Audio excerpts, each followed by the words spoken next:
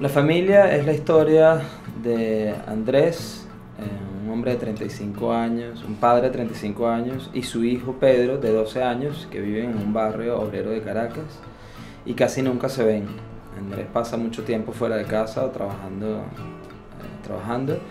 y este niño se está criando eh, rodeado, en las calles, rodeado un poco del ambiente de este lugar agresivo donde vive. Un día Pedro se pelea con otro niño eh, y lo hiere gravemente. El padre se entera de esto y presiente una venganza contra ellos y decide que deben huir del, lugar y emprenden un viaje a través de la ciudad y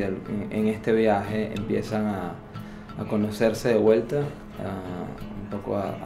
a tratar de, encontrarse como familia. La película La familia se estrenará el próximo 23 de mayo en, el Festival de Cannes en la sección, en la sección paralela llamada Semana de la Crítica. Es uno de los siete largometrajes en la competencia oficial. Eh, es la primera, el primer largometraje venezolano que participa en, en esta competencia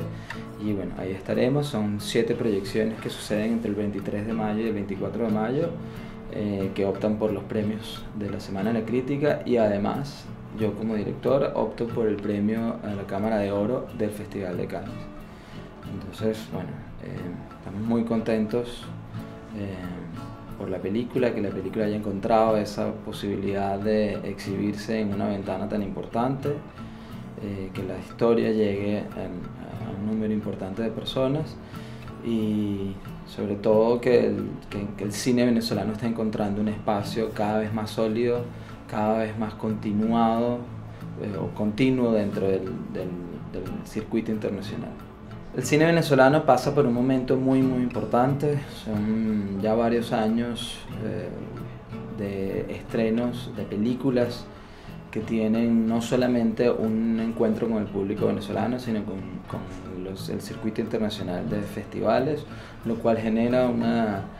eh, un importante reconocimiento para las películas, puesto que no solamente son vistas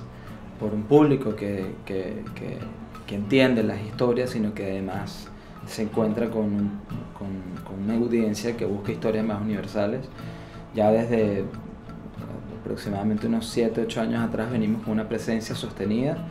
eh, de películas, ya no, ya no deberíamos hablar de que,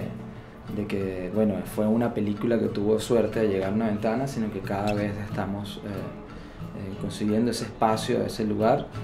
Eh, pasamos por un momento complicado en el país en términos de, de inflación, lo cual afecta a la producción, pero sigue habiendo una oferta importante de películas y, y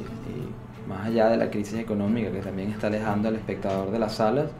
eh, lo que intentamos es seguirles brindando historias eh, importantes, historias que se encuentren con, con, la audiencia y que los haga ir al cine a, un poco a, a, sea a entretenerse en algunos casos y en otros a, a mirarse a sí mismos y tratar de, de reflexionar acerca de lo que, de lo que somos, de lo que pudiéramos estar haciendo.